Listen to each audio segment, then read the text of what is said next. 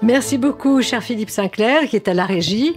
Et nous saluons également euh, Charline Fina, euh, qui est à la vidéo. Et donc, nous commençons tout de suite, évidemment, à, expliquer à nos chers auditeurs pourquoi nous avons choisi dans cette, notre série, n'est-ce pas, de philosophes et philosophie contemporaine, Fernand Braudel. C'est un historien, un très grand historien. Alors, pourquoi? Eh bien, tout simplement parce que dans la pensée, eh bien, l'histoire compte énormément en France. Ainsi, les Allemands euh, ont inventé la musique et, la philosophie, ou en tout cas ont brillé. Si les Anglais, se sont euh, illustrés par les l'économie et les sciences, les Italiens évidemment par les arts, euh, la peinture, l'architecture. Incontestablement en France, ce qui compte dans la pensée, c'est notre littérature, nos grands romanciers, mais aussi les historiens, nos historiens. Et pour ne parler que de ceux du 19e siècle, eh bien Guizot, Michelet, euh, Renan, Fustel de Coulanges, et évidemment, au XXe siècle, c'est l'arrivée de l'école des annales, la grande école des annales, euh, voulue par, euh, Lucien, par Marc Bloch et Lucien Fèvre, dont euh, dans les années 50, la plus grande illustration sera celle de Fernand Braudel, qui a ouvert d'ailleurs la carrière de, toute une école. on peut citer Pierre Chaunu, Georges Duby, Emmanuel Leroy-Ladurie, François Furet et euh, André Burguière à la direction des Annales et beaucoup d'autres. Alors, euh, donc tout de suite, pour euh, au fond cet entretien sur Fernand Brodel, nous commençons par un texte. La Méditerranée et le monde méditerranéen à l'époque de Philippe II. J'ai passionnément aimé la Méditerranée, sans doute parce que, venu du Nord, comme tant d'autres après tant d'autres, je lui aurais consacré avec joie de longues années d'études. La Méditerranée, n'est même pas une mer, c'est un, je cite, complexe de mer et de mer encombrée d'îles, coupée de péninsules, entourée de côtes ramifiées. Sa vie est mêlée à la terre, sa poésie à ses marins et à ses paysans. Il n'y a pas non plus d'histoire possible de la mer sans la connaissance précise des vastes sources de ses archives. Ici, la tâche semble au-dessus des forces d'un historien isolé. Ce livre se divise en trois parties chacune étant en soi un essai d'explication d'ensemble. La première met en cause une histoire quasi immobile, celle de l'homme dans ses rapports avec le milieu qui l'entoure, une histoire lente à couler. Au-dessus de cette histoire immobile se distingue une histoire lentement rythmée, on dirait volontiers une histoire sociale, celle des groupes et des groupements. En étudiant successivement les économies, les États, les sociétés et les civilisations. Troisième partie, enfin, celle de l'histoire traditionnelle, si l'on veut de l'histoire à la dimension non de l'homme, mais de l'individu, l'histoire autrement dit événementielle. Ainsi sommes-nous arrivés à une décomposition de l'histoire en plans étagés, ou si l'on veut, à la distinction dans le temps de l'histoire d'un temps géographique, d'un temps social, d'un temps individuel. Fernand Braudel, La Méditerranée et le monde méditerranéen à l'époque de Philippe II, Paris 1949. Merci beaucoup, cher Alexis. Alors, donc, ce texte, eh bien, euh, avant le commentaire, je voudrais dire quelques mots, si vous le voulez bien, sur euh, la, euh, au fond, la carrière de Fernand Braudel. Fernand Braudel, 1902-1985, donc est certainement l'incarnation française de cette école des annales, le, plus grand historien. il faut rappeler que c'est un homme, au fond, qui a vécu les secondes guerres mondiales. Il est de cette génération. il avait terminé sa thèse, d'ailleurs, avant 1939. Euh, mais il ne l'a publié qu'en 1947. Et euh, eh bien, à partir de là, euh, il est devenu l'animateur spirituel de l'école des Annales. Il avait enseigné auparavant à Constantine en Algérie, au Brésil, où il avait rencontré Lévi-Strauss. Et surtout, il s'est installé aux hautes études. alors, au fond, qu'est-ce que Fernand Braudel? Voilà ce dont nous voudrions parler, cher Alexandre, cher Marielle, cher euh, Alexis. Qu'est-ce que Fernand Braudel, qui a connu tous les honneurs académiques, il a été professeur au Collège de France, il a été euh, membre de l'Académie française, a apporté euh, à l'histoire et au fond, on, va commencer par le texte pour comprendre au fond ce qu'il a proposé de, neuf. Alors, je crois que on peut retenir trois choses principalement.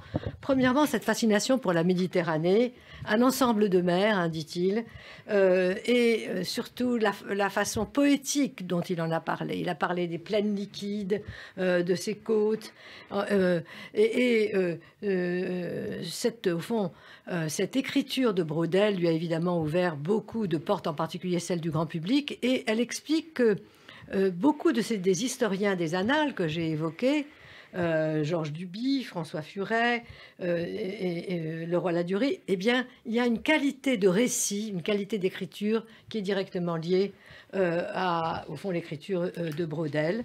Et euh, deuxième point, alors, deuxième point, il insiste beaucoup sur la connaissance des archives. Mais là aussi, c'est-à-dire une histoire savante. Mais une histoire savante euh, très élargie, parce que par archive, il n'entend pas seulement les textes, bien qu'il en ait, euh, si vous voulez, fouillé des masses considérables, et en particulier dans les archives espagnoles, mais aussi des tapisseries, des peintures. Enfin, Brodel a élargi, après Marc Bloch, la notion d'archive.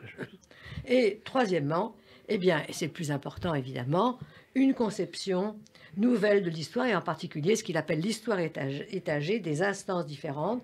D'abord, euh, une histoire, on peut dire géographique, euh, fondée par l'environnement, la, nature, euh, une histoire très, quasiment très lente, quasiment immobile, dit-il, et puis qui est le socle de la civilisation. Deuxième instance, l'histoire sociale qui comprend alors à la triade que tout le monde connaît, qui est le sous-titre de, la revue École des Annales, c'est-à-dire économie, société, civilisation, il a ajouté les États. Euh, Brodel est peut-être un des premiers historiens de ce groupe à s'intéresser euh, à l'État, d'un point de vue économique certainement, mais enfin il s'est intéressé à l'État. Et enfin, troisième étage, une histoire événementielle. Euh, là, il rejette, autrement dit, toute l'histoire politique dans l'événement, n'est-ce pas, dans le rôle des individus.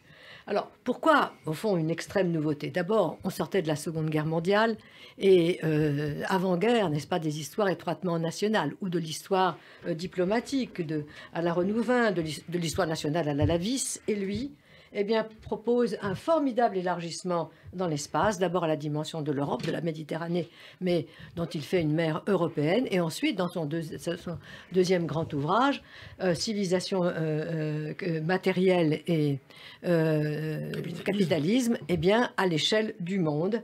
et alors, je dirais que cet élargissement, et, au fond, va déboucher sur une certaine conception de la civilisation évidemment, le troisième point de, de ça, c'est qu'il s'est rencontré avec le marxisme. Parce que dans cette histoire étagée, d'ailleurs, les gens de notre génération se rappellent l'article que Louis Althusser avait publié dans La Pensée, qui avait fait époque, euh, où il saluait, n'est-ce pas, cette histoire étagée. Évidemment, elle se, elle se rapproche des instances hegeliennes, n'est-ce pas Hegel avait parlé de la famille, de la société, de l'État, après Rousseau.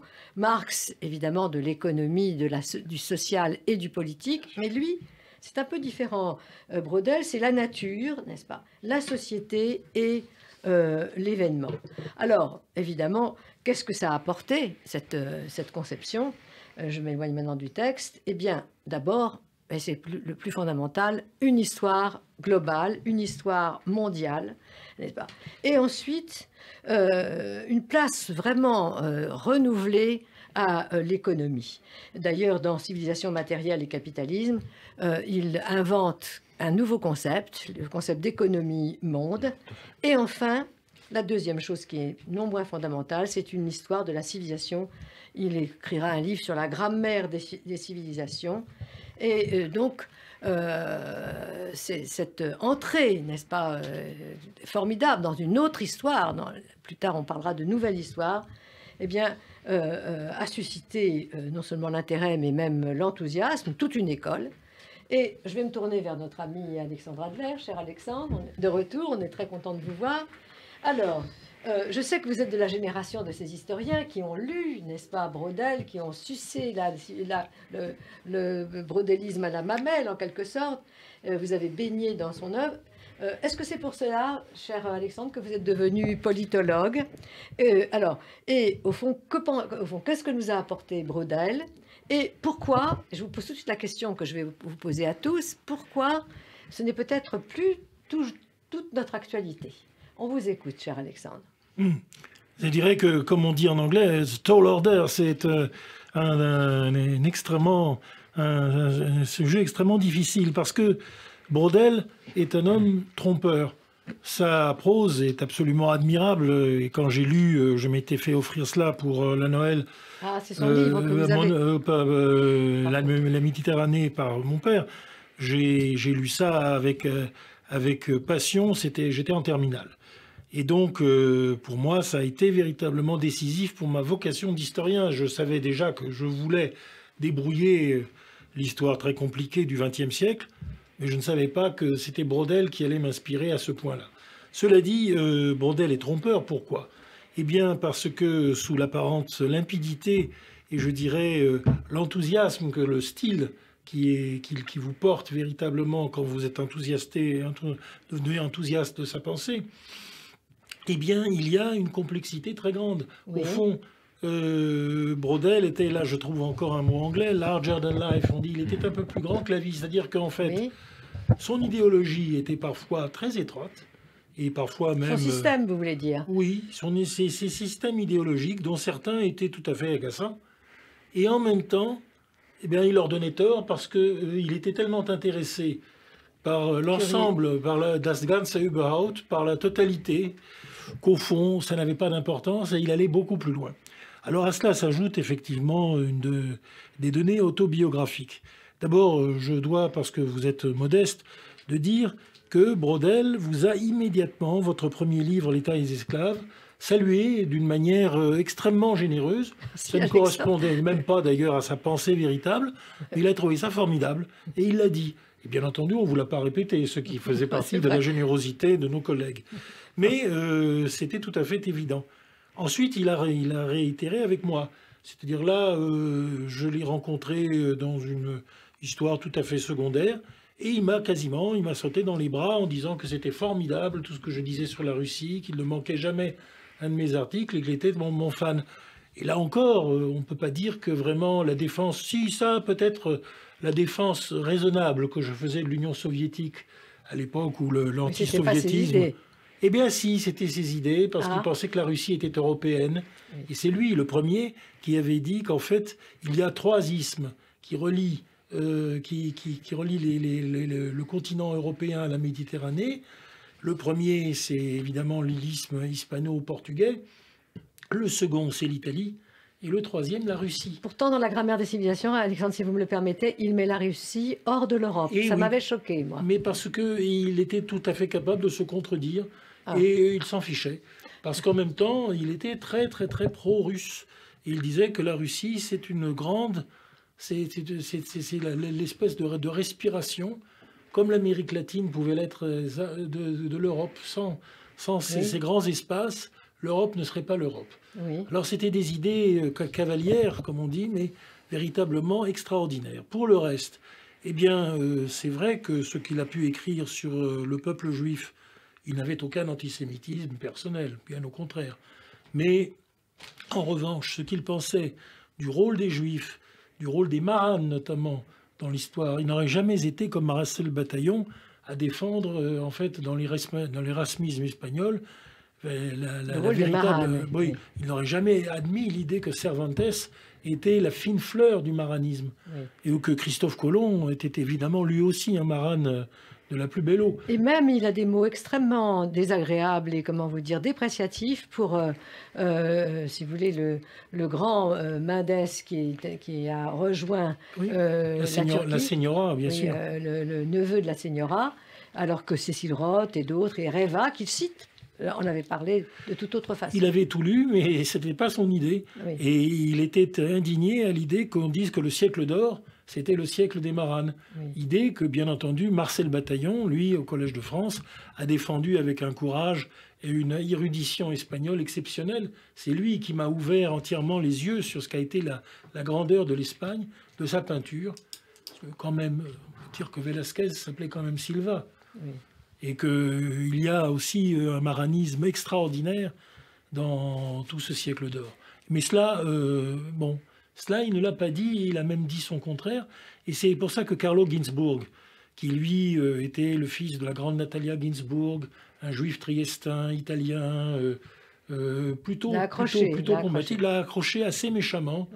et n'a pas toujours eu de la justice à laquelle il a quand même droit, parce que chez, chez, chez lui, eh bien, son appétit de savoir, sa boulimie parfois, et sa générosité, qui ont, sont les qualités extraordinaires de sa personnalité que j'ai connue, et finalement efface tout même les erreurs. Merci Alexandre de ce témoignage et je, vous rejoins tout à fait parce que euh, il s'intéressait pas à, la politique comme nous le faisons aujourd'hui, mais euh, il était tellement curieux et ouvert et il a été fasciné par la Renaissance et par, après avoir écrit sur Venise, que, en fait, il était capable d'aborder des sujets qui débordaient entièrement son système. Et ce qu'il a écrit sur le modèle italien en est une illustration.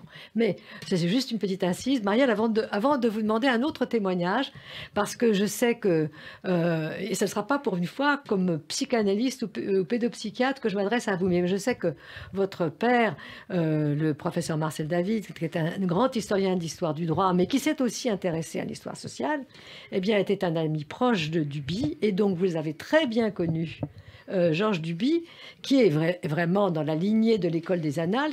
Et je voudrais que vous nous disiez quelques mots, c'est la suite de Brodel, les, ce qu'il a semé je vais sur Duby. Vous, vous dire euh, effectivement vous voulez bien, mots en tant que fille de mon père, et je vous dirai un petit mot après en tant que psychanalyste quand même, ah, qui m'est venu justement en vous écoutant. Alors donc, euh, Georges Duby est un homme qui est du Mâconnais, c'est-à-dire une région au nord de Lyon. Et il était très fier d'avoir... Non, non, non, l'embête pas. continuez. Marielle, continuez, ne vous laissez pas interrompre. Il était très fier d'avoir... D'avoir des origines paysannes. Oui.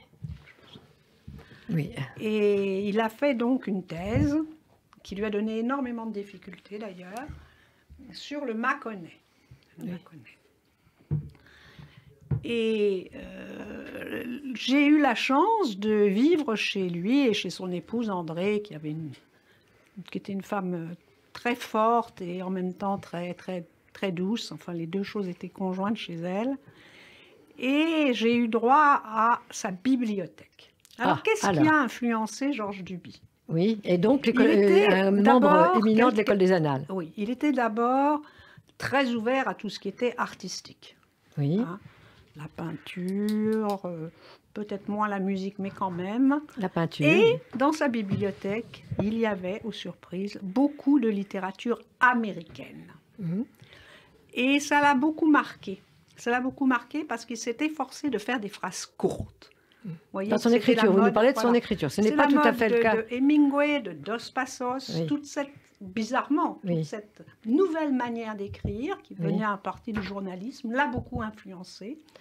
Et donc, il est évident que son écriture est une des raisons pour, de son succès, parce que c'est extrêmement agréable à lire sur le plan du C'est pas le cas de Brodel, hein. il ne fait pas toujours des phrases courtes. Il y a des phrases courtes, mais, il y a aussi des phrases longues. C'est ça qu'il aimait. C'est ça qu'il aimait, c'est ça qu'il a travaillé. Si je peux me permettre, je dirais aussi chez Dos Passos, cette espèce de littérature géopolitique, parce que Manhattan Transfer, c'est une espèce euh, de pensée de l'universalité de New York et euh, ah, des, la ville monde, une ville monde, voilà, dont, Brodel. Dont, les, dont, les, dont ces différents plans euh, se, s'entrechoquent les uns avec les autres. étrangement, c'est là qu'il a, qu'il a trouvé un creuset. Alors maintenant, je vais faire la psychanalyste, et vous savez que les psychanalystes jouent sur les mots. Oui, je vous écoute. Alors, vous dans Brodel, il y a broderie. Et la broderie me fait penser à la tapisserie de Bayeux. Qu'est-ce que c'est que la tapisserie de Bayeux? C'est un ouvrage qui est du XIe siècle, donc de l'époque que va étudier Georges Duby, puisqu'il est un spécialiste du Moyen Âge, et qui raconte dans des scénettes à la fois toute l'histoire d'un héros, mais d'un héros placé dans la mer, puisque c'est une bataille qui est en grande partie navale.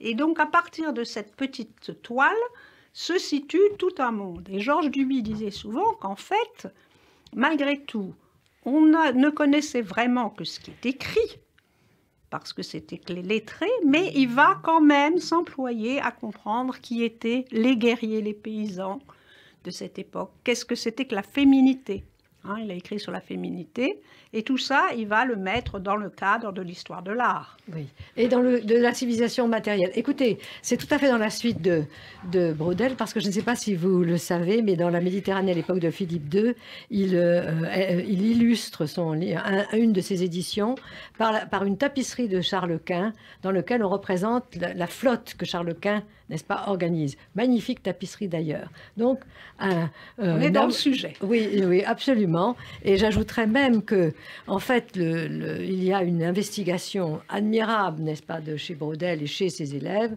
de toute l'histoire économique et, sociale. Chez Brodel, essentiellement à partir de l'économie, mais par exemple dans la civilisation matérielle, où il pense que avant le capitalisme, euh, la paysannerie a régné partout. On a une foule, n'est-ce pas, de renseignements extrêmement intéressants sur la face, sur le mode de vie, sur les mœurs des, des gens, ce qui avait été parfaitement négligé auparavant par les historiens. Alors, bah, écoutez, merci beaucoup de ce témoignage, Marielle. Et je vais me, tourner vers notre ami euh, Alexis. Alexis, je sais que vous, avez, vous êtes intéressé également à Brodel, puisque je crois que vous avez consacré des, un article ou des articles à Brodel il y a quelque temps.